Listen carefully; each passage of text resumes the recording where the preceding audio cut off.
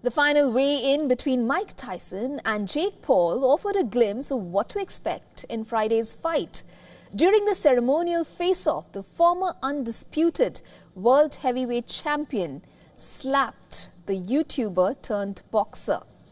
Two-time world champion Tyson weighed 228.4 pounds on Thursday, with Paul coming in one pound lighter.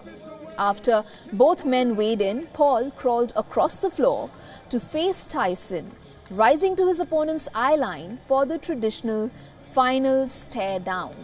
Tyson had avoided engaging with Paul's taunts all week, but he slapped Paul across the face, prompting the security and team members to rush in and separate the fighters. Tyson then walked off stage, only saying that the time for talking is over.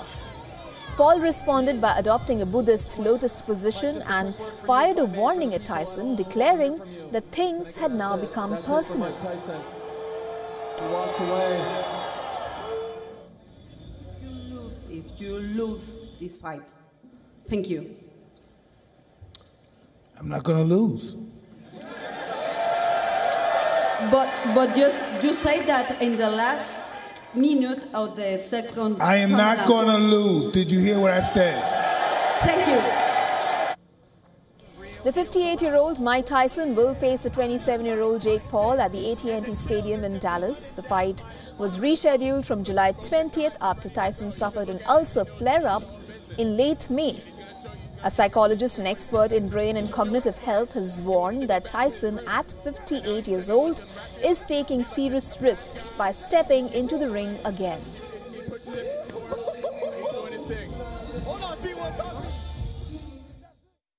One important aspect of, of boxing is uh, speed with how you can react and how you can protect yourself to get your hands up, to move your head and your body out of the way. Um, and, you know, as we get older, almost all of us tend to get slower. Uh, so that's one issue, uh, makes it harder to protect yourself.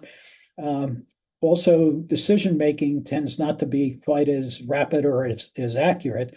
Um, I mean, one of one of the skills that boxers, good boxers like Mike Tyson, learn is how to react to your impo- opponent and how to how to uh, study your opponent so you know what to expect. That gets a bit slower too. So many of these skills uh, get slower.